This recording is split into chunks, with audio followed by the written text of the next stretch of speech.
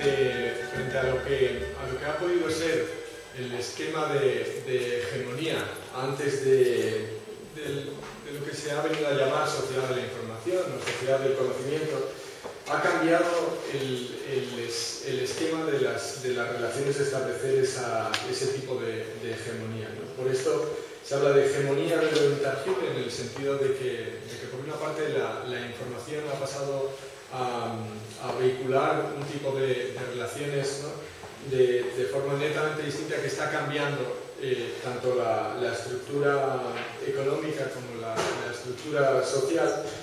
Eh, y, se trata de que, de que, si se observa y si se compara lo que es la sociedad de la información con, con lo que ha sido la sociedad industrial, pues, pues las desigualdades que, que se pueden atribuir a la, a, la, sociedad industrial, pues resulta que no se han visto menguadas o frenadas, sino, sino, sino más bien todo lo contrario.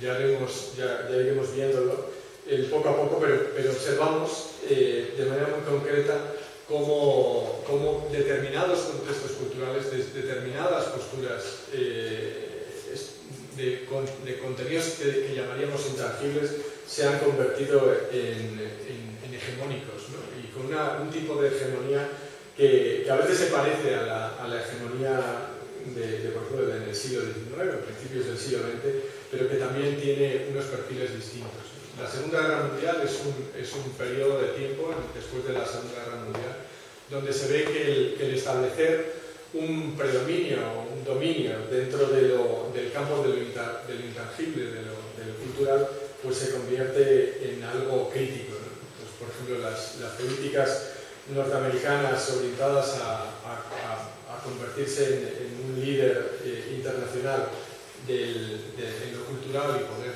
y poder eh, hacer que su modelo cultural ¿no? sea, sea exportable y ocupe todos los rincones del orbe, pues, pues se va desplegando poco a poco y en, y en, la actualidad, en el momento de Internet, si bien, si bien con, cuando se, se, se empezó a, a discutir al principio y aparecieron múltiples ciberutopías, ¿no? pues, pues ahí se parecía que era la posibilidad definitiva ya de, de realizar y de vertebrar una, una democracia que, que en el siglo XVIII era imposible porque no había medios, en el siglo XIX parecía que era difícil, pero se podía hacer representativa, y, y como si nos da tiempo ya podré, podré indicarles el cómo, el cómo diferentes avances técnicos en el campo de las comunicaciones se consideraban ya la pieza clave, el único elemento que bastaba para poder llevar la democracia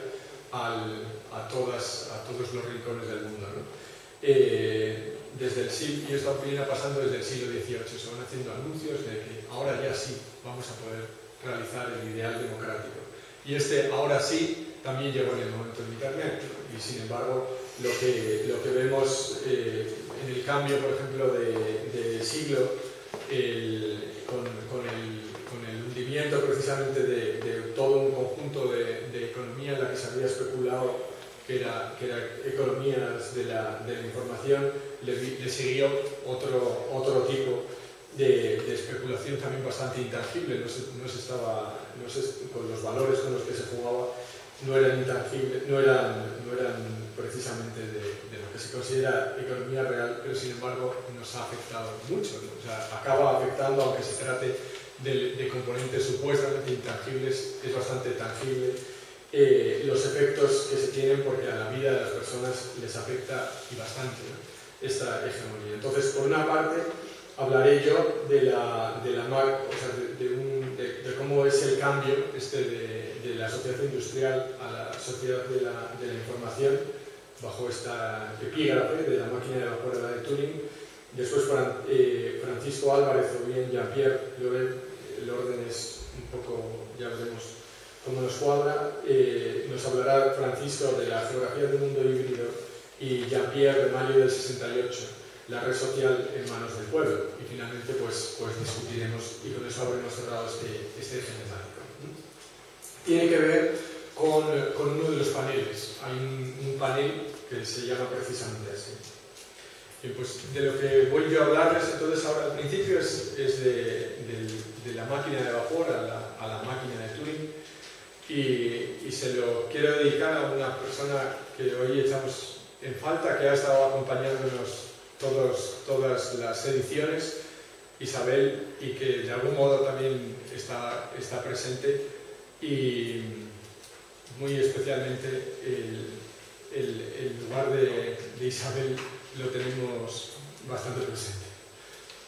Eh, voy a contarles eh, en primer lugar o sea, lo que supone este amanecer a la era de la, de la información y, para ello les voy a plantear o sea, lo, que, lo que supone información y energía, o sea, qué, cambio, qué cambios puede suponer también en lo que a la organización de lo social y a la organización de lo, de lo económico eh, significa.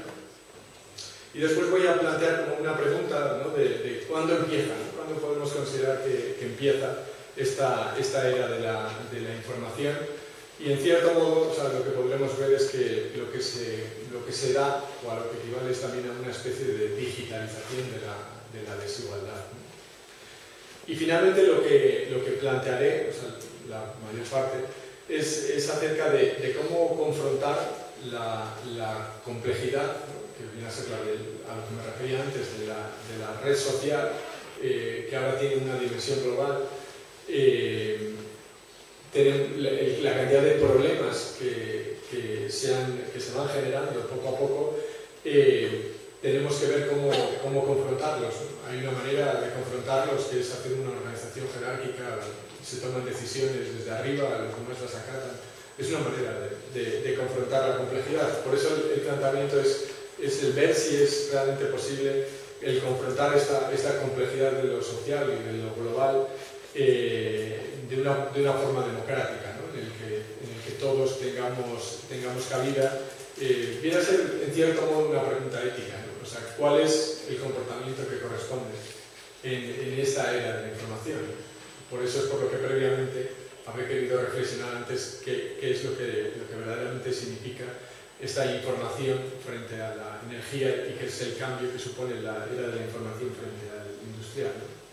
Y entonces primero presentaré pues, intentaré hacer una radiografía o presentación de estos sistemas eh, sociales globalizados con, con, el papel que juegan las, las tecnologías de la información para a continuación reflexionar acerca de la participación democrática en este contexto global y finalmente eh, sobre la desigualdad y la, y la subsidiariedad entendida de una manera que iría un poco más allá de, lo que está escrito en la, Unión Europea. Uno de los principios de la Unión Europea es el principio de subsidiariedad, pero la manera en la que se aplica es de una forma negativa y es, y es que el Estado deje de actuar en aquello que puede actuar otra gente. Eh, de, lo que, de, lo que, quiero hablarles sería como un esquema de poder, de poder vertebrar eh, la democracia, es el de, el de, una subsidiariedad positiva, no una subsidiariedad negativa, pero que podemos utilizar el, y que para defenderlo posiblemente el, hecho de que esté integrado en la Unión Europea pues, pues es un, un, caballo de Troya, por así decirlo. Eh, Peter, el, hecho de que Peter Fleisner no haya, no haya venido les, les ahorra un, una exposición en inglés, aunque su inglés es muy bueno. Eh, pero, pero, lo que sí no les voy a ahorrar es que mi presentación está en inglés, pero no importa porque al menos yo se lo voy a estar contando en castellano, no se lo voy a contar en, en inglés. Eh, lo que uno, todos los momentos históricos ¿no? que, han, que, han, implicado un cambio importante y, y en particular siempre que, que, se ha dado una confrontación de mundos distintos. Por ejemplo, en la Grecia clásica ocurre que, el, que, que la, cuando salen los griegos de, de, de, sus costas y tienen a los persas enfrente y se nutren además también de, la, las, los aportes de, Egipto y, de las culturas que vienen del norte, pues en realidad lo que, lo que, lo que van observando es que hay de, diferentes maneras de, de, ver las cosas, diferentes maneras de, de valorar, de considerar lo bueno, de, considerar lo correcto, y esto, y esto supone una crisis. En, el momento en el que se da. Por ejemplo, en, la Grecia parecía que todo se podía defender. Es, así nace la filosofía occidental. O sea, Sócrates contra el sofismo y Platón y Aristóteles lo que van buscando es, es, el, es el cómo encontrar una verdad que pueda trascender el que todo puede defenderse. Eh, pero, pero lo interesante es que, a pesar de todo, lo que ha ocurrido en Grecia es que en la medida que, que, se dan problemas nuevos, que se, que se, encuentran maneras distintas de confrontar la realidad, pues se ve que, igual eh, se puede pensar otras maneras de vivir. Entonces, podemos verlo tanto en la Grecia clásica como en la, en la dinastía Zhou, que es en la que estuvo eh, Confucio, él, tuvo que cambiar de contextos culturales varias veces y de una manera muy drástica. O sea, de estar en, unas cortes a, a, tenerse que ir a los exilios, a, sistemas eh, culturales que eran netamente distintos allí donde había nacido. Y lo mismo ocurre, por ejemplo, en la emergencia de la, de la burguesía. La burguesía se enfrenta pues, o, aparece en, en, un contexto en el que, en el que la estructura eh, jerárquica del, feudalismo, eh, pues suponía un tipo de sistema de valores y, lo que ocurre en la, burguesía, que lo que lo caracteriza, sobre todo pensando en, la europea, muchas veces cuando aquí se habla de burguesía, se piensa en, pues, unos burgueses como algo más minoritario, pero, pero, si se observa lo que ha sido la burguesía en otras partes de, Europa, lo que supone es que no, es una gran cantidad de población la que, la que puede participar en una, serie de, condiciones de, similar igualdad con respecto a lo que es la, jerarquía de la aristocracia. Entonces ahí se da una confrontación y se desarrolla una manera de ética, de, o sea, de, reflexión ética para pensar cómo de, comportarse eh, para encontrar una vida correcta. La, la ética liberal de la ética liberal seguimos, se sigue viviendo, o sea, de, lo que, de lo que se reflexionó. Entonces, por ejemplo, Kant es uno de, es uno de, los, de los representantes más egregios. Lo, que, lo que supone en general, o sea, y es bien sencillo comprender, es que, es que este, esta confrontación de distintas maneras de comportarse lo que supone es que hay que buscar nuevos, nuevos modos de acción y se supone que hay que imaginar, hay que pensar, hay que deliberar qué puede ser mejor, a veces hay que probar, hay que valorar y, finalmente, o sea, después de que, de que ya un, comportamiento se ve que, tiene su, cierto éxito, por la razón que sea, que no tiene por qué ser eh, exclusivamente de, satisfacción de, unas, de unas necesidades individuales. El caso es que se ve que, puede conducir a, a una vida eh, aceptable, pues acaba institucionalizándose y, puede devenir en, una moral. En, la, en, la, era de la información lo que tenemos es que el, el, cambio de las, del espacio de posibilidades que supone la incorporación de nuevas tecnologías, algo que se fue incorporando eh, durante el despliegue de, las, de, la, de la estructura de, de la fábrica industrial. Para que funcionaran determinadas cosas se veía que había, que había eh, comunicaciones que, que, podrían resultar absolutamente necesarias para que eso funcionara. Por ejemplo, para que, el, para que el tren funcionara era necesario tener un telégrafo en el que se pudieran coordinar las acciones. entonces hubo una relación bastante, bastante estrecha, pero con el despliegue de tecnologías de la información y la comunicación eh, pues fue aumentando el, tipo de, relaciones que tenemos. O sea, ahora mismo tenemos que, que, la fábrica eh, está distribuida por todo el, por todo el globo. O sea, la fabricación de, de, productos, inclusive algunos bien sencillos, una parte se realiza en, en, un lado del mundo, otra parte se realiza en el otro. Esto sería impensable sin, sin, las, sin las tecnologías de la, de la información. Entonces, en la medida que hay un espacio de posibilidades distintas, pues, pues se abre a la experimentación o al pensar qué, tipos de, acción serían los, los correctos. Pero si queremos hablar de, la sociedad de la información y queremos ver qué, es, qué hacer con la información, cómo, cómo curarla, cómo valorarla, etc., lo primero que hay que ponerse en claro es qué demonios es eso de la información. Porque si ustedes van y le preguntan a un matemático, le preguntan a un biólogo, le preguntan a un economista, le preguntan a un físico, el qué es información, se encontrarán con, con conceptos que son difícilmente integrables.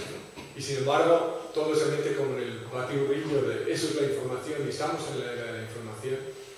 Y, y evidentemente esto, esto no, no, es lo mismo que podría predicarse del, hierro, en la era del hierro, cuando aparece la era del hierro, el hierro tiene unas características muy concretas, todo el mundo sabe que, se puede encontrar en más sitios, todo el mundo sabe que es más duro que el cobre, que tiene unas dificultades de fabricación que son distintas. En ese tipo de características estaban claras y esa dureza, por ejemplo, del hierro hace que las herramientas que se, que se generan eh, pues puedan realizar, realizar acciones distintas. Bien, pues lo mismo nos ha de ocurrir con la información si queremos tener en claro qué vamos a hacer con ese, con ese recurso que llamamos información. Hay que tener en claro bien qué es eso.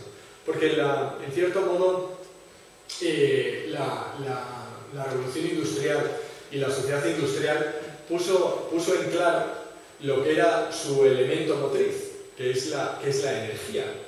Porque eh, si bien, si bien se, se ve la, la, fábrica del siglo XIX, si se compara con la, con la distribución de las actividades profesionales, eh, tal y como se describe en la enciclopedia, pues había ya un refinamiento de la distribución de tareas bastante importante. Lo que, lo que cambia notablemente la máquina de vapor es, la, es el, el poder realizar eso en mayor número, en, con mayor frecuencia, con intensificar el proceso de fabricación. Pero, pero la energía, en, en, ese momento en el que se estaba empezando a utilizar de forma más, más masiva y que, y que, era una clave para, para, poder realizar, hacer que la fábrica eh, produjera mucho más, eh, en el momento en el que se estaba empleando más no había un concepto de, de energía, que todos estuvieran de acuerdo. Es una de las grandes contribuciones de la física del, del siglo XIX, el ver que, por energía se puede entender una, misma cosa. Eh, hay una, una posibilidad eh, con respecto a la información, eh, que sería el considerar que la información es lo que, lo que permite la selección de cambios en un sistema o un agente que puede ser auto, autoorganizado. En realidad hay que pensarlo más bien desde el punto de vista autoorganizado y este puede ser de cualquier tipo puede ser un agente físico, biológico, cognitivo, social. La gente se entiende aquel que puede, un, un componente que puede inter, interactuar con otros, o sea, que, que, desarrolla una, una acción. ¿no? Y, y, se puede entender a diferentes niveles. ¿no? Eso, eso, implica tener una, una, hacer un, una cierta abstracción de lo que pueden entender ustedes por un agente más humanizado y considerar que el, que el agente podemos, podemos eh, observarlo eh, a través de la, de la, escala de la complejidad natural, en lo físico, en lo biológico, en lo cognitivo, en lo social. Si lo definimos así, pues resulta que, que se compagina bien con la, por, con la, energía, porque la energía finalmente se define como, como la posibilidad para realizar cambios en un sistema. Fíjense que entonces encajarían bien porque una cosa es la posibilidad de realizar cambios y otra cosa es elegir qué cambio es el que se va a realizar. ¿no? Eh, la, máquina, la máquina de vapor lo que consigue hacer es poner trabajo, y, el trabajo, eh, si recuerdan ustedes de en física, se define en función del desplazamiento, con una fuerza de un desplazamiento. Eso es lo que hace la máquina de vapor, pero, es, pero eso, eso solo. Y entonces eso, esa, esa, esa máquina de vapor con el émbolo empieza a empujar y empieza de forma ciega. ¿no? Lo, que, lo que está haciendo es aumentando el espacio de posibilidades relativos al, proceso industrial. O sea, el proceso industrial, gracias a ese brazo que es mil veces más fuerte que el, del, que el, que el manual que el de la utilización de la energía fría, que se podría decir, por ejemplo, la tracción del viento, la, la tracción animal, sería más caliente de lo que había entonces, no, en este caso lo que tenemos es una fuerza bruta que se mueve sin, mayor búsqueda de, hacia dónde aplicar esto. ¿no? Pero tenemos un, un marco de posibilidades de qué transformar en función de qué es lo que se coloque delante. Bien, pues la información lo que supone es esto, porque, porque en la sociedad industrial eh, la articulación de los procesos que vienen a detraer el resultado a partir de ese aporte energético es algo que, también se hacía bien antes, o sea, no cambia tanto, es lo que quería decir antes, la organización de los procesos antes de, la máquina de vapor y después. Lo más importante es que tenemos un aporte de energía neta. Eh, pero los, cambios que se introducen han de actualizarse, o sea, hemos hablado de, posibilidad. Información es lo que, lo que permite selección de cambios, pero entonces estos cambios son cambios potenciales, lo que permitiría realizar un cambio, o lo que permitiría elegir, perdón, la energía lo que permitiría realizar cambios. La actualización de esto, eh, en, el, caso de la información, sería la estructura, cuando uno de los cambios se han, se han realizado, pues entonces se, adopta una estructura particular por ejemplo, la red, que puede tener diferentes eh, configuraciones, pues, pues adopta una en concreto. Y la, y la materia es el equivalente de la actualización de la energía. O sea, la, materia la podemos entender en general así y además tenemos la relación que encontró Einstein entre, entre masa, masa y energía que nos establece una correlación bien concreta, cuantitativa. Y en este caso, es, es el, significaría esta nueva actualización representa a sí mismo un conjunto de posibilidades que podrían desplegarse, pero para realizar esas posibilidades necesitaríamos la energía que nos, que nos condujera hacia unos cambios u otros. Entonces la información así concebida sería lo que permite conducir la energía y así nos permite eh, pensar en qué es en cómo es la máquina de vapor. La máquina de vapor lo que tiene es una serie de componentes que lo que van haciendo es dirigiendo la, energía eh, que, se, que, se, encuentra en lo que se va aportando, se, se introduce un, un, vapor muy caliente, es, en ese vapor eh, lo que va ocurriendo según se va moviendo el émbolo es que va aumentando la entropía, la entropía entre otras cosas lo que implica es que con, con, las mismas, incluso con la misma temperatura, la organización del, del, gas es tal que ya no podemos detraer la misma cantidad de trabajo. entonces, lo que hace falta es un aporte adicional de, de algo que tenga menos entropía. Entonces, lo que, el conjunto de los componentes lo que ha hecho ha sido hacer que la energía que está disponible la, se va conduciendo para que en un momento entre por aquí un aporte, ahora sacamos entropía por allá. Entonces se hace que se dé una conducción de esa energía para finalmente poder aprovechar la energía en beneficio del cambio que sea. Así, eh, fíjense, podemos, podemos hablar de un esquema en el que la sociedad industrial se caracteriza sobre todo por el uso de la energía y, la sociedad industrial eh, en lo que se basa es en las transformaciones que están, que están materializadas y estabilizadas en un, en un sistema industrial. Esto implica, entre otras cosas, lo siguiente, o sea, eh, la máquina es estable, es muy estable. a, mí, a, mí, una de las cosas que, que, me llamó mucho la atención paseando por aquí, por los montes de León, hace 10 años, eh, encuentro una turbina ahí cerca de, de, de, de la cerveza una turbina y entro en, entro en la sala y, y, entonces me fijo de dónde había sido construida y, y, había sido construida además en 1914. Desde 1914 llevaba casi, entonces llevaba 90, 90 años funcionando ininterrumpidamente. Eh, es una diferencia en la concepción de las, con respecto a la concepción de las máquinas actuales. Se concibe para que el, el, las transformaciones tengan una, una una cierta estabilidad que haga que, ese aprovechamiento de la energía sea lo más eficiente posible. Entonces esto implica en lo social algo muy concreto y es que, es que el, sistema, la estructura eh, económica y la estructura social que, que, rodea los procesos de transformación pues, pues, pues tiene, tiene que tener un grado de estabilidad y este grado de estabilidad es el que, es el que permite también construir un, tipo de, un tipo de vida distinta. O sea, si ya contamos con que tenemos esto y aquello y aquello está resuelto, pues entonces digamos que podemos campar por otros, por otros lares y ir encontrando, o sea, construir una vida sobre una serie de recursos mínimos que estén satisfechos. En el caso de la información, de la sociedad de la información, si se basa sobre todo en el uso de la, de la información, entonces tenemos que la, que la clave es la selección de los cambios en un sistema socioeconómico que es flexible. Y esto en realidad para la vida no pinta, o sea, con respecto a la anterior, o sea, con respecto a tener un conjunto de infraestructuras, de sistema social y tal, que, que tenemos garantizadas una serie de seguridades, no pinta del, todo bien, pero en realidad eh, el, habrá que buscar o sea, cuál, es, cuál puede ser el esquema de la buena vida dentro de esas condiciones, porque en realidad lo, que realmente cambia es que con la, con la información eh, podemos cambiar con mucha más eh, flexibilidad.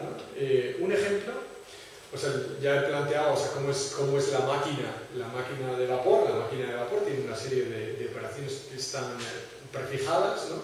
y que pueden durar mucho tiempo. A su vez, el conjunto de máquinas, herramientas y de, y de distribución de todo el proceso industrial pues se organiza con, con suficiente cautela, pero, pero, comparen eso con lo que supone la máquina, la máquina de Turing, está, está caracterizada por una, una tabla de acción, y, el modificar esa, esa, tabla de acciones, ¿no? que es donde, donde dice qué es lo que va a hacer la máquina, la máquina de Turing, que también es genérica. O sea, la, la máquina de vapor es genérica en cuanto a que provee energía. La máquina de Turing es, es genérica en cuanto a que puede hacer las acciones que pongan en la tabla, pero cambiar la tabla no tiene ningún problema. Sin embargo, cambiar el conjunto de procesos industriales o del procesado hasta, hasta sacar las, los, bienes eh, de, la, de, las, de, la, organización industrial y de la máquina, pues ahí ya tenemos, necesitamos un lapso de tiempo bien distinto, unas, una energía inclusive bastante mayor. Hay que sustituir más cosas, mientras que cambiar la, la, la, tabla de acción pues es una cosa inmediata, es una, no, no, supone un cambio importante. Y esto viene, nos sirve un poco de metáfora, eso que estoy utilizando de metáfora, de lo que supone pasar de la máquina de vapor a la, a máquina de Turing. Ay, pensaba que lo estaba. O sea, en definitiva, lo que tenemos es que la, dinamicidad de los cambios, que siempre ha habido cambios, no se trata de que no haya cambios en la sociedad industrial, por supuesto los hay. Para articular los cambios en la sociedad industrial, lo que se tiene es unas máquinas muy buenas y una organización empresarial muy competente. Organización de procesos industriales que sea muy competente para poder aprovechar todos, todas esas máquinas que, tienen una, calidad excepcional. Eh, Ahora lo que nos cambia, frente a eso, es una, variable de tiempo adicional, o sea, una aceleración de los, cambios.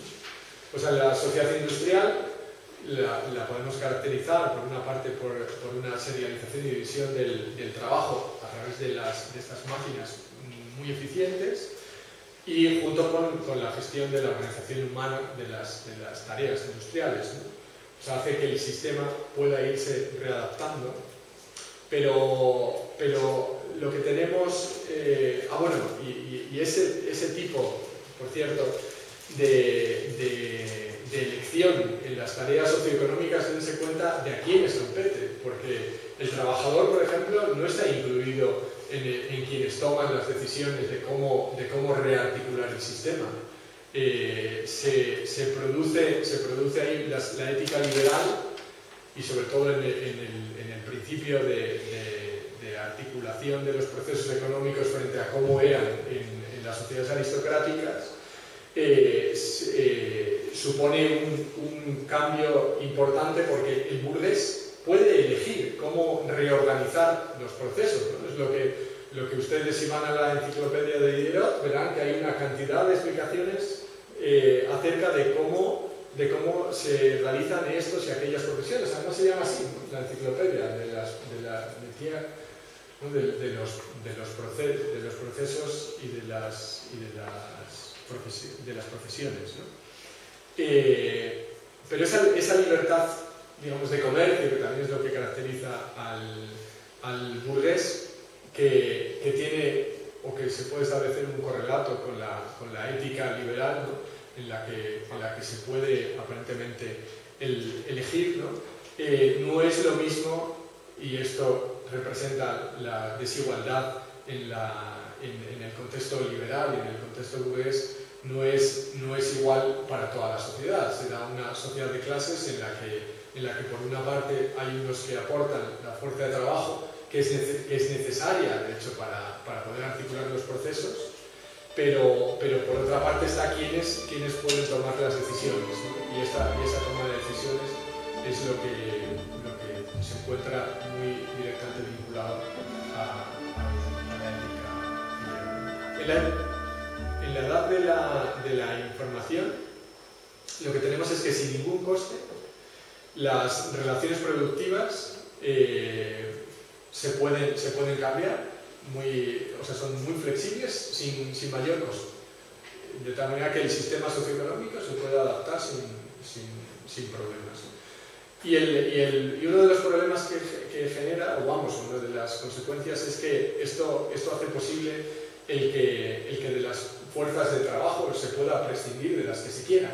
O sea, por ejemplo, puede, si la maquinaria, es decir, la fábrica globalizada, eh, ve que una fuerza de trabajo le es, es, un poco más costosa, no hay ningún problema. Existe, existe campo suficiente en el mundo para poder, para poder abaratar los costes en otra parte, del, en otro rincón del mundo. Y eso, y eso es un problema con respecto a la, a la, a la lucha de los derechos por parte de las, de las, clases menos favorecidas o de los que no pueden tomar elecciones acerca de, cómo organizar los procesos. Entonces, en definitiva, esto cambia mucho lo que es el, juego de la compra y de la venta de la fuerza de trabajo, que es, lo que caracterizaría la, manera de, negociar en la etapa anterior o en el contexto de las sociedades industriales. Eh, por lo tanto, lo que tenemos es un contexto en, el que el juego social, eh, en, el que se, en, el, que se, desarrolló inicialmente eh, para, por ejemplo, para la, la, formulación de, las, de, los derechos humanos, ha cambiado y tenemos grandísimos problemas, pero gravísimos, para realmente el poder dar cuenta o poder cumplir con esos objetivos de la, de la Carta de Derechos Humanos y mucho, y mucho más si hablamos de los, de los socioeconómicos. De la, la, desigualdad, como decía Paz, ¿no? pues ha crecido de, de manera continuada, o sea, si lo, ya, lo, ya, lo, voy a mostrar a continuación. Y además tenemos el problema de, de tenernos que adaptar a una, a una limitación biosférica que, que, tiene, que tiene las capacidades que tiene. ¿no? Esto tenemos que confrontarlo, pero el juego en el cual se daba la, la, negociación para ver qué hacer con los problemas sociales ha cambiado y entonces hay una, una parte de los jugadores que, que, que son los que, los que más tienen, eh, digamos que lo, a los que más les ha cambiado el marco de posibilidades. La información entonces puede concebirse como, como, un bien, como un recurso común y, social, o bien para otros dicen, no, hay que protegerlos por la ley de propiedad, porque de lo contrario, si no, no vamos a poder generar más productos que resuelvan las necesidades que, realmente tiene la sociedad. Y, por ejemplo, es interesante, aquí tenemos en, eh, representantes del Ecuador. Ecuador, por ejemplo, está apostando por el desarrollo de una, de una economía del conocimiento social y solidaria. O sea, tenemos concebida un tipo de, de recursos comunes y sociales que, que, consideran que la información debe ser eh, considerada de esa forma y sin embargo en las, en las sociedades más industrializadas ¿no? Eh, consideran que no, no, tenemos que protegerlo como sea ¿no? eh, para poder seguir sacando, sacando provecho. ¿no? Tenemos los, los, dos, los dos esquemas. Pero como decía antes, la reflexión ética implica tenemos que encontrar en definitiva nuevos valores y, y nuevos, y nuevas agencias ¿no? para, el, para, para, la organización socioeconómica global. ¿no? Fíjense, esto es cómo eran los medios de, de, telecomunicación, si nos queremos plantear cuándo empieza la era de la, de la información, si, si, les enseñara el, el, es, el esquema de, de, los cables transoceánicos que había en, mil, en 1850, vería, lo veríamos prácticamente vacío, con un esfuerzo increíble, se hizo el primer cable transoceánico en esa, en esa década y solamente 15 años más después, o sea, de, no haber tenido nada, pues resulta que ya casi se tiene una configuración como lo que hay aquí por cables transoceánicos por todas partes del, del globo. O sea, en 1923 el planeta ya tenía cables repletos, eh, o sea, recorriendo todo, todo el globo. Ahí están mostrados los, los, submarinos, los cables submarinos, pero todavía había también otros muchos cables, por ejemplo, atravesando todo Rusia hasta la India, etc. Eh, es decir, no es que no, es que no hubiera eh, medios de, de comunicación. El, el, primero, el primero de los, de los cables transoceánicos eh, duró muy poquito, duró solamente unos meses. No sabían que la, que la percha iba a ser resistente a los fondos marinos y entonces se, se estropeó, pero eh, dijo la reina, hay un escrito de la reina de Inglaterra que dice no pasa nada, no hay problema. Eh, hemos en este tiempo, por las inversiones especulativas y, o los beneficios especulativos, lo hemos cubierto. Y eso que se, se tuvo que construir para hacerlo, el, el, mayor barco, no existía un barco que pudiese almacenar tanto, tanto cable, y previamente se habían hundido dos barcos de los más grandes que había. Dijeron que no había problemas, ya hemos dado cuentas. Fíjense, o sea que en cierto modo la historia de las, de telecomunicaciones está muy, muy enredada con el, desarrollo de las, finanzas y de una economía eh, con, con vocación global. Eh, en la actualidad, esto es una representación de la actualidad, de lo que está puesto para uno de los paneles. Los ricos se apropian de los, de los centros de datos. Vemos cómo los centros de datos están concentrados en la parte del mundo. ¿no? Porque si queremos hablar de la desigualdad ¿no? o de la igualdad de, la, de, los medios de información, lleva, lleva anunciándose eh, varias décadas que la información ya es finalmente lo que nos va a permitir romper las brechas y, y ahí tienen las brechas, ahí está la acumulación de los, de los centros de datos y ven entre qué sitios están la mayor parte de los, de los medios de, comunicación. Este viene a ser el, mismo, el mismo gráfico, pero me, gusta lo que está colocado en la, vertical. El tramo más grande es el, número de lenguas que hay. Son 6.000 y pico. Eh,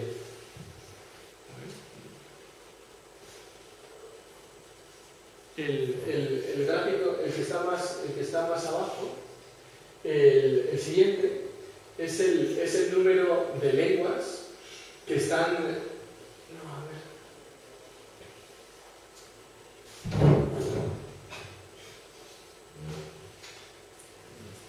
Uno es el, el número de lenguas que aparecen representadas en, en Internet. Ah, no, perdón. El segundo son las, son las lenguas, o sea, que, que pueden ser representadas en Internet, que tienen una, una, una transcripción eh, escrita. El siguiente es el, es el número de lenguas que efectivamente están representadas. Y el, y el más pequeñito de todo es para lo, que, para lo que hay sistemas de traducción, o sea, lo que finalmente está bien representado. O sea, fíjense, es el, lo más grande es el conjunto de lenguas, ¿no? Y lo que está abajo es lo que realmente atienden los, los medios de tratamiento de la información para poder eh, trasvasar fronteras. ¿no? Eh, desde luego no es, no es muy, muy equilibrado, ¿no? pero me parece una representación muy, muy ilustrativa. El, como les decía antes, para, respecto al problema de, de, cómo, de cómo afrontar la, la complejidad democráticamente, una manera sencilla es, es, hacer una organización jerárquica de tal manera que, que, cada, cada, agente eh, en un nivel dado pues controla a todos los que se encuentran en el nivel inferior y las decisiones vienen impuestas al nivel, al nivel inferior y en cada uno de los niveles pues se puede, se puede el tomar, el, hacer eh, esto, intercambios a modo de, iguales. Eh, digamos que, por ejemplo, nuestra, la, la, socie, la sociedad eh, respondía más o menos a ese, a ese, esquema, la organización industrial en buena medida sigue respondiendo a eso, eh, una buena parte de lo que es la organización universitaria sigue respondiendo a esas estructuras medievales, ¿no? eh, pero, pero desde luego no es lo que nosotros concebimos como una manera democrática de, realizar, de tomar, de, tomar decisiones. O sea, el concepto de, democracia sería, sería, ajeno a eso en la medida que, lo importante para, tomar decisiones eh, supone el de, la, una, participación eh, conjunta en el que todos los agentes tienen una, cierta similitud en cuanto a la capacidad de elección, o sea, en su soberanía. Eh, puede, la pregunta que debemos hacernos es, y casi podríamos hacernoslo para la democracia en general, es ¿puede, puede desarrollarse el concepto de, democracia eh, de manera global? Es lo que en el siglo, en el siglo XVIII, cuando, cuando fueron a realizar los ideales de la, de, la Revolución Francesa, pues se toparon pues, con, con, limitaciones prácticas concretas. ¿no? O sea, se puede elegir por ejemplo, una democracia representativa frente a una democracia eh, participativa. Eh, y, como les decía en, un principio, los medios electrónicos se han venido concibiendo casi desde el siglo XVIII como la, la manera de poder, de poder desarrollar esa, esa democracia globalmente. En el, en el, siglo XIX, varios sociólogos consideran que si no fuera por todo el despliegue que ha habido de, de, de esto de tecnologías de la comunicación, la poca democracia que había, o la democracia representativa, sería inimaginable, absolutamente inimaginable. Pero, pero la pregunta es, o sea, ¿en qué medida los nuevos procedimientos, las, nuevas tecnologías puedan llevarnos un poco más allá? Por otra parte, lo que tenemos es un contexto en el que, como ha demostrado Milanovic, por ejemplo, que es del, del Banco Mundial, economista del Banco Mundial, ha visto que la, la desigualdad desde el siglo XVIII ha crecido de manera ininterrumpida. Eh, y, esa, y esa desigualdad es realmente compatible con la democracia. O sea, no se supone o sea, que los agentes deben tener un tipo de posibilidades igualizadas, más o menos similar a la de los otros. Eh, esto es con respecto al desarrollo, el desarrollo humano, el índice de desarrollo humano, si se, si se observa, pues eh, como, como, como, se puede ver, pues resulta que se está aumentando el desarrollo humano en esta escala. En, en, la parte de la derecha lo que se ve es cómo ha cambiado el índice de desarrollo humano y entonces desde esta perspectiva parece que va bien, ¿no? porque va mejorando el desarrollo humano. Pero si observamos la, la desigualdad, eso es de, de Economics, eh, la, de, la desigualdad global, según el coeficiente de Gini, que no es la única manera de medirlo, eh, pues ha, ido aumentando continuamente y si se, si se le añade también desde el coeficiente de, de Gini eh, una, una, desigual, una, desigualdad eh, global considerando todos los habitantes del planeta, pues resulta que, ese, que, ese, aumento es todavía mayor, porque se ve ahí en, en, la última parte como que desciende un poco el índice global, pero, pero es porque se están comparando países con países. Y en efecto, o sea, se ha producido una una, menor, eh, en, ese sentido, un, menor, una menor desigualdad, pero ya veremos por qué, porque es por el caso concreto de, los países. Y si se ve dentro de los países, observen estas curvas de aquí abajo, en torno a los años 80, después de los años, en la década de los 80, se da una inflexión y la, y la curva de, de desigualdad crece en prácticamente todos los países, salvo, como se puede ver aquí, en los, en los países que ya tenían una desigualdad enorme, que son los únicos que lo reducen. ¿no? Por ejemplo, Brasil, en, o sea, en América Latina sean unos cuantos países en los que se reduce, pero sin embargo Sudáfrica, que era, que era el, el, líder, pues es todavía más líder. ¿no? Eh, que, que, de hecho es uno de los grandes también agentes financieros. ¿no? Este es el coeficiente de Gini en, en países concretos y, ahí es donde se ve en los países así más industrializados, Estados Unidos, Gran Bretaña, Japón, se ve un, cambio bastante grande. O sea, el índice de Gini, si, fuera cero, sería una sociedad totalmente igualitaria en cuanto a distribución de ingresos. Es que no hay ninguna diferencia. Si, fuese de valor 1, quiere decir que uno, una persona tiene todo y el resto no tiene nada. Esos son los dos extremos del índice de Gini. ¿No? pues, pues observen cómo eh, se ha producido un, cambio. Ah, no, ahí lo que se ve es la diferencia entre, entre, el, mercado, el valor del mercado y el, y el valor después de los, de los servicios sociales. Se ve que hay una diferencia. Eh, para lo que a ustedes también les puede interesar, tenemos, tenemos España es un gran campeón en desigualdad.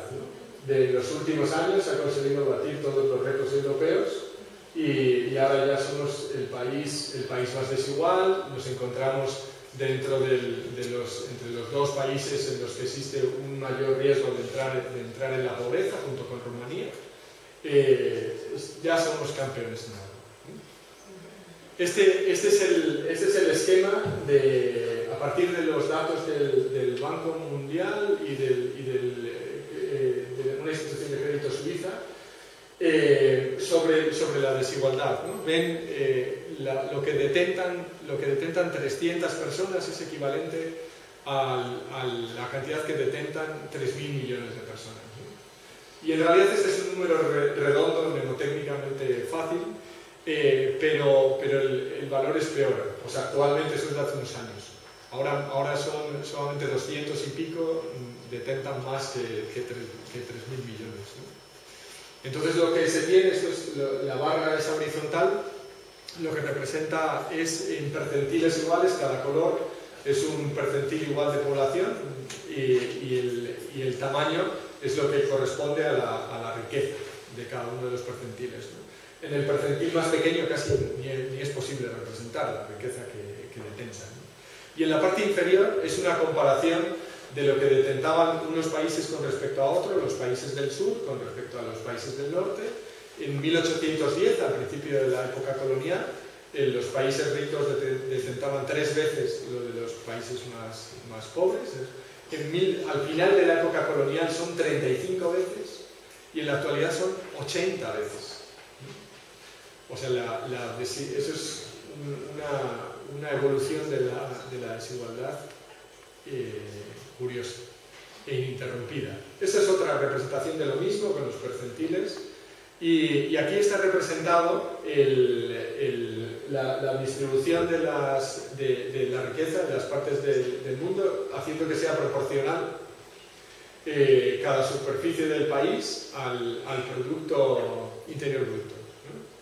Entonces ven cómo, cómo existen partes que, que, desaparecen casi, o sea, están tan escuálidas, fíjense en la, en la escualidez de, de, África y de otras partes del mundo. ¿no? Pero eso es en el 2000, eso es en el 2000. Fíjense, esta es la prospección para el 2015. Cambia un poco, ¿no? sobre todo se ve fácilmente ¿no? que cambia. O sea, ahí en Asia se produce un cambio.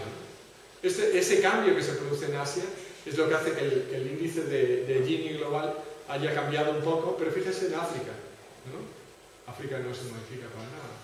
O sea, y, de hecho la desigualdad interna, si se tiene en cuenta toda, toda la desigualdad, pues resulta que, eso dentro de los países es donde, donde más ha decrecido.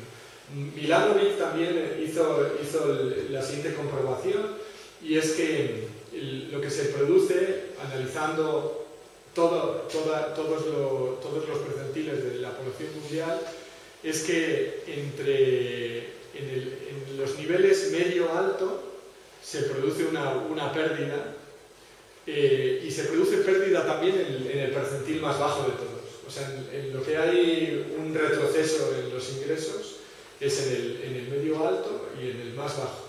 En los medios sí que se debe sobre todo en el medio-bajo y debido sobre todo a la India y a China eh, pues se, produce un aumento y se produce un aumento en el percentil más alto en los, en los eh, ingresos. Esto, esto, es acerca de un estudio de, de las consecuencias que tiene la, la, desigualdad, aumento de la sobrecorrelación sobre la, de la mortalidad infantil, de la escolarización, de la drogadicción, de la enfermedad mental, de la delincuencia, de los homicidios, algo que mencionó eh, Paz antes. Eh, y algo que es muy crítico con respecto a ver cómo organizamos nuestra vida es que la confianza decrece. La confianza es uno de los, de, los núcleos de la, de la, ética liberal, porque o sea, si no se da confianza entre los iguales, pues, pues es, es, muy difícil establecer el conjunto de las reglas del juego ¿no? que se dan dentro de ese contexto, tal y como se describe en, la, en el juego liberal. Eh, si, se pierde la confianza, pues es muy difícil el resto de la organización social. Y por ejemplo también se ve la cooperación. O sea, países, eh, Estados Unidos, por ejemplo, con una, desigualdad muy alta, pues, pues, prácticamente no tiene ayuda al desarrollo y, o sea, se ven correlaciones eh, que, tienen muchas implicaciones de qué es lo que puede realizarse cuando se, está viviendo en, tal, en tales desigualdades. ¿no? El Dahrendorf dice que, bueno, que si bien la, globalización supone una realidad geopolítica que desborda el, contexto y el, marco de los Estados-naciones, eh, es, el Estado de Derecho lo que, puede preservarse y es, un Estado de, de, Derecho internacional lo que podría conducirnos a una especie de, de, salvación de, lo, de, esos, de esos valores que, que, que, que, configuraron la democracia en un principio. Pero según otros análisis, lo que, lo que se ve es que el, el juego eh, que, se desarrollaba dentro de los estados de los estados nación eh, sobre todo los liberales, los, los países liberales o las democracias liberales, en las que el capitalismo tiene, tiene la tendencia a concentrar poder y la democracia tiene, tiene la, la vocación ¿no? de, de, distribuir ese poder. ¿no? Es que dentro de ese, del, del marco de, de institucional, eh, la necesidad de la reproducción de la, de la fuerza del trabajo pues, pues da las condiciones para que lo que necesita el capitalismo, que si le desaparece esa fuerza de trabajo se, se le para todo, esa necesidad de reproducción del sistema, pues, pues hace que, se pueda, que se tenga un marco de negociación. Sin embargo, cuando, cuando el, el balance del poder se rompe, aparecen instituciones internacionales, aparece otro juego distinto, la utilización de fuerzas de trabajo que están más allá de los estados-nación, etc., pues entonces ese tipo de juego se rompe. El, lo, que, lo que suponía, digamos, ese balance es un, es un tipo de, de reserva que, que, acababa cristalizando, o sea, estoy hablando de, los, de las democracias liberales, un tipo, un tipo de... o sea, cristalizaba en el, en el derecho, en el Estado de Derecho. ¿no? El, tenemos varios elementos claves. Uno, por ejemplo, es la introducción de, la, de, las, de, la, de los procesos automáticos de, de, producción. Otro es la introducción de tecnologías de, red o tecnologías de la, la información al servicio de, la economía financiera, de la economía comercial, de la economía productiva, ¿no? que, que, hacen posible ese desarrollo de una, de una economía global. Y tenemos que gracias también al, a los, al nuevo contexto se, tenemos la constitución de, de, de, esto, de unas instituciones internacionales que, casi no responden a, a ninguna otra tipo de agencia más democrática o de algún otro tipo de soberanía, sino que responde básicamente a los, intereses o, defienden muy fundamentalmente esos intereses del, del, capitalismo, entendiendo que es lo que necesita la producción para que se desarrolle el sistema productivo y tenemos además un poder creciente de las, de las multinacionales, de las corporaciones transnacionales. Eh, según, según el, un, un, esquema, un análisis marciano, lo que, lo, que, lo que podríamos ver es que el desarrollo de, de unas fuerzas productivas, en este caso, estas, estas fuerzas productivas, pues es el nuevo contexto de, de elementos que se pueden, que se pueden combinar para, para, hacer, para resolver todos los problemas económicos, que al final hay que, hay que realizar cosas, hay que satisfacer necesidades. Eso se da dentro de unas, de unas relaciones de producción y según el esquema marciano es que cuando se van produciendo contradicciones entre, entre las fuerzas productivas, pues, pues finalmente las, las, relaciones eh, de producción pues tienen que cambiar y se van produciendo una, una transformación de esas, de esas relaciones y esas relaciones son las que en última instancia legitiman y, reflejan las relaciones de propiedad. Las relaciones de propiedad siguen estando legitimadas actualmente por lo mismo, por los Estados-nación. O sea, en Europa, por ejemplo, es muy necesario que siga habiendo eh, estados y todo el conjunto de, de, de derecho ¿no? que, que, va legitimando esas, todas esta, esas, esas propiedades. ¿no? Eh, La, cuestión es, sobre todo, eh, ese es el contexto anterior, las, instituciones, las instituciones eh, globales lo, que, lo que van haciendo es presionando los términos de, los acuerdos previos. Por ejemplo, nosotros ahora tenemos una, una troika, ¿no? esta, esta, esta, troika son instituciones que son internacionales, que lo que van presionando son los, los acuerdos que se habían cristalizado por, por, esa, por esa negociación entre, entre diferentes eh, estos agentes sociales. ¿no? Y, las, las, fuerzas, la, internacionalización de las fuerzas productivas eh, lo que hace es que, es que toda esta maquinaria global se pueda adaptar con mucha, con mucha flexibilidad y los, los medios automáticos, y esto lo anunció Wiener, Wiener en, los, años, en los años 60, eh, Norbert Wiener es el que desarrolló, la, es uno de los padres de la cibernética, pero en los años 60 veía que la utilización que podía darse a la, cibernética era para transformar el conjunto de, los procesos productivos y que podría tener consecuencias tremendas para lo que era el mundo del trabajo. Entonces, él se dirigió a los sindicatos para decirles, tened en cuenta el, camino que pueden seguir los medios automáticos, que no es el único camino posible, podría utilizarse en otra dirección, pero hay que, hay que manejar bien eh, las relaciones porque de lo contrario o sea, se puede utilizar para, para hacer que, que, la, que, una, una, clase social o sea, no tenga capacidad de poder negociar nada. ¿no? Ellos dijeron, no, no hay, no hay ningún problema, eso ya lo sabemos y, y lo tenemos todo bajo control.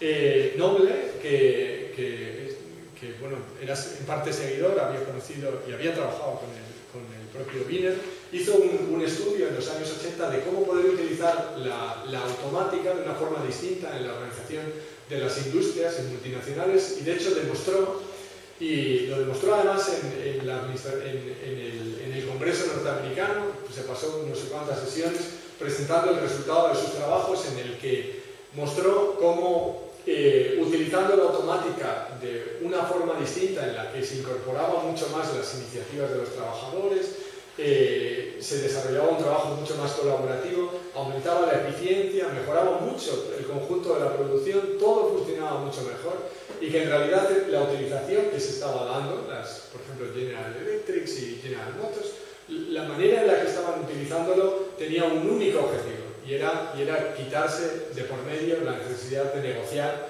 con las fuerzas de trabajo. Y produjo un impacto muy importante porque tuvieron que aguantarse los directivos Congreso y, les fastidiaba, porque en realidad estaba soltando verdades como puños. ¿no? Dice en uno, en uno de los trabajos, este no es de hace mucho, aunque eso que, les he contado lo presentó a finales de los años 80, dice ahí, hay una, eh, war, o sea, hay una guerra que está en marcha, dice, pero solamente una de las partes está armada, y esta es, y esta es la esencia de la cuestión tecnológica de hoy. Eh, por una parte está el capital privado, eh, cientificado y subsidiarizado, que es móvil, es global, está armado eh, muy fuertemente con tecnologías de la, de la, comunicación, del control, del comando, que han sido desarrolladas en, en ámbitos militares. dice eso, o sea, de, de, los dos componentes así de, de, lo que podría ser la negociación de, los procesos, pues tenemos que uno de los lados está muy armado y el otro. Frente a la pregunta de, cómo utilizar las tecnologías para una participación democrática, eh, hay que, me parece importante o sea, el, volver al concepto general de, esto de, democracia, y es eh, que, tiene, que tiene mucho que ver con el, con el interés eh, común, ¿no? o sea, para, para Rousseau, eh, el interés general. El, interés general, o el general will, eh, es lo que puede caracterizar una sociedad que es culturalmente homogénea. La pregunta es, ¿qué es lo que entonces podemos hacer en una sociedad que no sea culturalmente homogénea? Está claro que la manera en la que nosotros estamos organizando sobre la globalización no corresponde a un espacio social culturalmente homogéneo y en cuanto tal, pues, pues el conjunto de valores que pueden compartir, que podían compartir, por ejemplo, los griegos o, por ejemplo, los, ciudadanos, los ciudadanos ginebreses, lo que podía tener en mente eh, esto Rousseau, eh, pues el contexto es distinto. O sea, ¿cómo, cómo, podría, cómo podría hacerse? Para algunos, eh, lo, que, lo que es, es necesario eh, el preservar sobre todo una cierta, o hay que luchar, o hay que vertebrar una cierta identidad sobre la cual se sustentan los principios de, confianza y el principio de solidaridad. Por ejemplo, para McIntyre, eh, la única salida que ve es la de comunidades pequeñas en las que haya una, una participación democrática. Él no tiene ninguna confianza de, de poder desarrollarlo en una, en una, escala mucho más, más amplia. Y muchos autores se han preguntado, o sea, ¿qué es entonces realmente, cuál podría ser el objetivo de la Unión Europea? ¿Puede hablarse de general will o de, o de, o de interés general o más bien de un interés público en el cual pues, se, se persigue aquello que es mayoritariamente necesitado?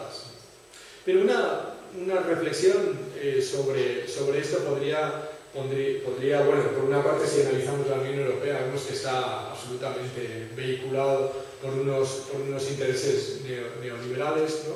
eh, y además ahora mismo está muy, muy contestado, ¿no? se considera bastante ilegítimo. Eh, pero, pero en realidad el, ese, ese, ese interés general sí que, sí que se ve también la perspectiva de, poder ir viendo como diferentes niveles, ¿no? si bien no podemos estar de acuerdo en todo, pero sí hay determinados valores que podemos compartir y de ese conjunto de valores compartidos pues podrían emanar algunos intereses generales ¿no? de, de, una manera que no sea, no todos, ¿no? no todos por iguales, sino de una forma como más, eh, más jerarquizada o más, eh, una estructura un poco más compleja. Por ejemplo, Habermas eh, ve la, la, esfera pública como, como la posibilidad de, de, llevar a la práctica esa, esa, democracia y las tecnologías de la información como el mecanismo, pero por ejemplo, Bátimo, Capurro, Fuchs el, esa aproximación habermasiana. Si, vemos, o sea, cómo es el, mundo de la, de información, este es uno de los atlas del Monde Diplomatique, eh, uno de los mapas del, del Monde, eh, tenemos representado en, colores más oscuros los países que tienen mayor conexión y, en colores más claros los, que tienen menor conexión. Es decir, si ven ustedes ahí este, este mapa mundi, pues, pues se observa que el, paraíso digital es igualmente desigual, es profundamente desigual. Está a su vez ahí representados pues, problemas eh, acerca de la, seguridad, de los ataques cibernéticos. Eh, y esto es lo último que quiero presentarles, que es a lo que me refería al principio, la subsidiariedad. Eh, el, el, contexto en el que ha ganado es interesante porque a principios del siglo, del siglo XVIII surgió en el contexto de la, de la Iglesia Católica la discusión de qué es lo que está ocurriendo con todas estas desigualdades. ¿no? En realidad tiene un, tiene un antecedente calvinista, el, concepto de subsidiariedad. ¿no? Pero en el siglo XIX, frente a, a los descalabros de desigualdad de, de, de, de los primeros desarrollos de, la industria, eh, en el que se veía una confrontación muy fuerte entre el mundo del trabajo y el mundo del capital, pues la, la, la, la Iglesia Católica lo incorporó a su doctrina social ¿no? y considera el principio de subsidiariedad como uno de, de sus principios. ¿no? Eh, pero también la, el liberalismo conservador lo consideró como uno de sus fundamentos porque si consideramos el principio de subsidiariedad como, como el de que el Estado deje de, de, de, deje de actuar en aquello que, que entes privados pueden, pueden realizarlo, pues entonces desde ese punto de vista para el, para, el liberalismo conservativo que quiere dejar eh, las relaciones tal y como estaban, o sea, que no se modifiquen, pues, pues será, digamos, un buen caballo de batalla. ¿no? Pero también lo es para la democracia participativa. Pero entonces la democracia participativa lo defiende en un sentido positivo, y es que el Estado tendrá que participar en todo aquello que no queda cubierto por otros agentes. es además un principio jurídico, se podría hablar en diferentes contextos, y en, el, en el contexto de la Unión Europea, pues es uno de los principios generales. La, las Naciones Unidas también lo consideran como uno de los principios fundamentales para la descentralización y para lograr una gobernanza global. Pero entonces basándonos en, esa, en una idea de subsidiariedad que además se puede predicar también para los organismos, por ejemplo, un organismo complejo como, como nuestro cuerpo, eh, ustedes, ustedes no están pensando y tomando decisiones acerca de lo que le ocurre en, el, último rincón de sus cuerpos. ¿no? Están funcionando autónomamente, la mayor parte de las cosas que ocurren en, todos los rincones de su cuerpo funcionan de forma autónoma y de forma bastante local. Incluso cosas que pueden ser mucho, mucho más eh, esto, conscientes, como por ejemplo los movimientos nuestros, los movimientos cuando, cuando ejecutamos alguna acción generalmente están, están caracterizados por, unos movimientos de nuestras manos en el que la red neuronal que actúa está, muy próxima a, los órganos de sensibilidad y al, y al, órgano motor. No pasa por el córtex, o muy pocas de las cosas pasan por el córtex. Pero cuando se da algún problema, entonces sí existe la posibilidad de que llegue al córtex y que se tomen decisiones. Entonces existe en los organismos complejos, existe también ese, ese principio de, de, subsidiariedad. Siguiendo ese esquema, el, en Chile en 1972 se propuso para la organización de los, de los procesos económicos lo que Allende, cuando se lo presentaron los cibernéticos eh, ingleses junto con Flores y Espejo, dijo, ah, esto es la posibilidad de, de, de realizar la, la democracia porque solamente aquellas cosas que son, que son relevantes van a, van, a tener, van a llegar al lugar oportuno y, se van a tomar decisiones siempre en el contexto que está más implicado y no trascienden aquellas cosas que no merece la pena que trasciendan porque se pueden resolver localmente.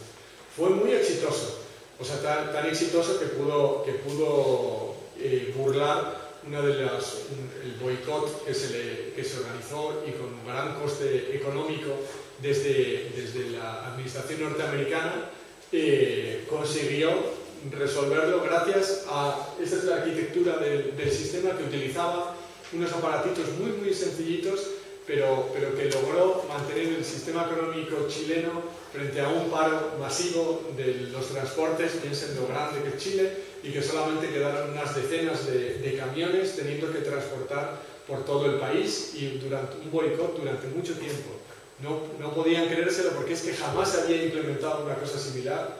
Entonces eso, de, de, después del golpe chileno, por supuesto, no se continuó. Pero lo interesante es que una de esas personas, Raúl Espejo, por ejemplo, que él, logró marcharse, Flores, que era el ministro, acabó en el campo de concentración, pero Espejo, que estuvo, que estuvo en Suecia y que actualmente está en, está en Inglaterra, el, eh, solemos coincidir en unos congresos eh, anuales, eh, él eh, a él y a otros de la, misma, de la misma ola sí que les buscaron las multinacionales para, para organizar sus corporaciones transnacionales según este tipo de, esquema en, el que, en el que se pudiera resolver de la forma más eficiente posible. Eh, pero por supuesto no desde una óptica de la democracia. No esto sí que no les voy a contar porque lo, hemos, planeado, lo hemos planteado también para aplicar en universidades. Pero el, la idea general es, vamos, es una propuesta de, de, la utilización positiva de la subsidiariedad que trascendería el uso de, que se está dando en, en la Unión Europea y, en el, y, y, según el cual o sea, podríamos quizá ¿no? encontrar una, una manera tanto de emplear las tecnologías de la información como, como el de poder resolver de una manera, de una manera colectiva, social y, y, democrática ¿no? los, los, los, problemas complejos a los que nos enfrentamos. ¿no? Sé que me he extendido, pero he contado cosas que no les decía nada. bueno, gracias por su atención.